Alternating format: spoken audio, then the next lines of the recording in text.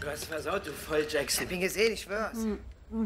Du hast wirklich mehr Glück als Verstand. Das hat mein Großvater auch immer gesagt, obwohl er meint, das hätte in meinem Fall nicht viel zu sagen. Sag mal, was ist hier eigentlich los? G gilt hier auf diesem Schiff für Schwarzfahren die Todesstrafe? Du hast ja keine Ahnung. Was denn? Kann ich dir was sagen, was du wirklich für dich behältst? Hm, höchstwahrscheinlich nicht, aber...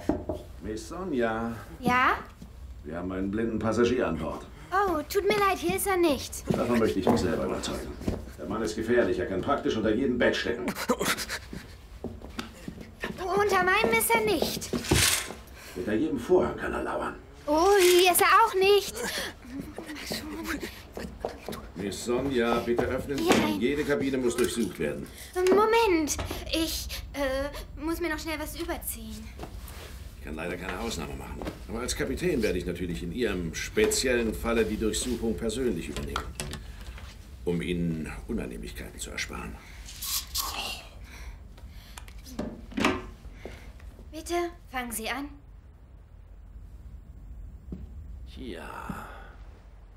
Wo fangen wir denn da an? Unter Bett? Hm, da ist keiner. Und hinterm Vorhang? Da ist auch keiner.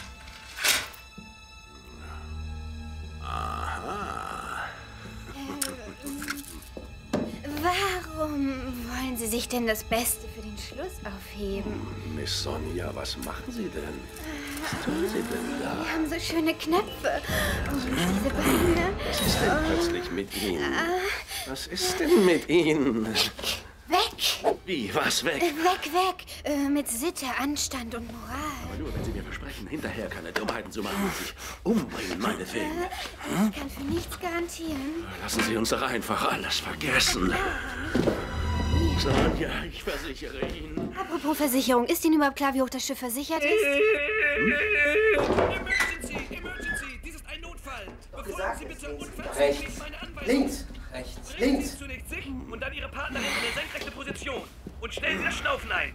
Unter Ihrem Bett befinden sich Schwimmwesten. Sollte dies nicht der Fall sein, begeben Sie sich auf direktem Weg an Deck. Sonja!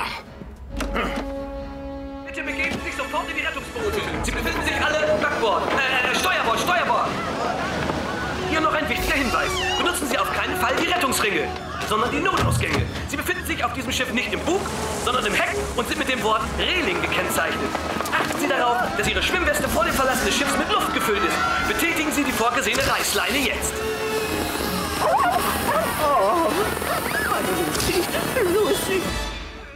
Du siehst so komisch aus.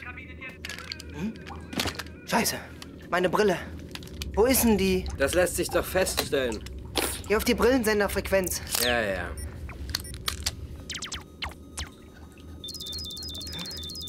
Bingo. Geh näher ran, gib mir die Koordinaten. Ach, da vorne ist sie. Wie ist die da nur hingekommen? Unser fassungsloses Entsetzen geht jetzt allmählich in rücksichtslosen Überlebenskampf über. Denn im Ernstfall gilt, wer zuerst kommt, schwimmt zuerst. Vordringen ist also wichtig. Wie wir uns nach einer Katastrophe verhalten und im Überlebenskampf auf rauer See bestehen, indem wir Ertrinkende von der rettenden Planke werfen, das lernen wir beim nächsten Mal. Warum stehst du denn nicht auf? Das Schiff sinkt! Na und, das ist doch nicht weit